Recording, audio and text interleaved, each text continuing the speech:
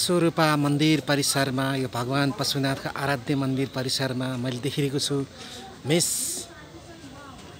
गुरुङ हजुर। मिस गुरुङको first runner up हुनुहुन्छ टु थाउजन्ड ट्वेन्टी टूको।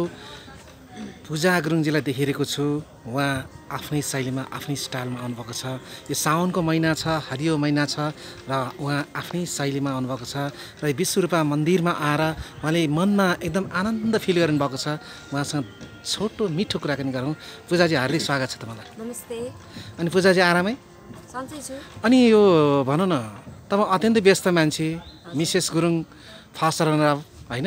अत्यन्त व्यस्त सेड्युल भएको मान्छे। आज यो साउनको तिन गते शनिबार चाहिँ आनन्द मनले मुड फ्रेस गर्न आउनुभएको कि के छ?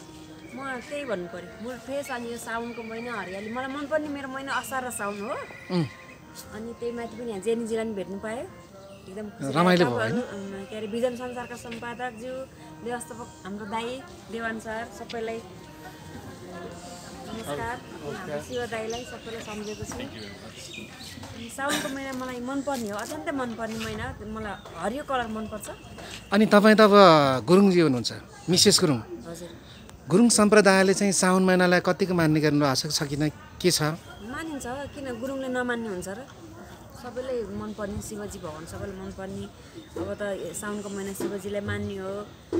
अनि व्रत बस्ने तपाईँ पनि व्रत बस्नुहुन्छ? कसको लागि व्रत बस्नुहुन्छ तपाईँ? आफ्नै लागि। है?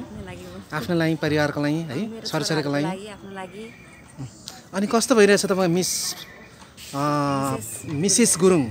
Two thousand ट्वेन्टीको तपाईँको क्राउन्ड इयर कस्तो भइरहेछ? ठिकै छ दुई हजार बिस अलिकति। मैले जितेर मलाई खुसी लाग्छ तर अब लकडाउनले गर्दा बर्बाद भयो कोरोना भाइरस र कोभिड नाइन्टिनले गर्दाखेरि बर्बाद भयो। राम्रै हुन्छ होला सायद सबैलाई राम्रो होस्। हामी यही कामना गरौँ यही कामना विश्वरूपाले सबैलाई आशीर्वाद दियोस्। सबैलाई ल धेरै धेरै धन्यवाद पूजाजी। हस् नमस्कार।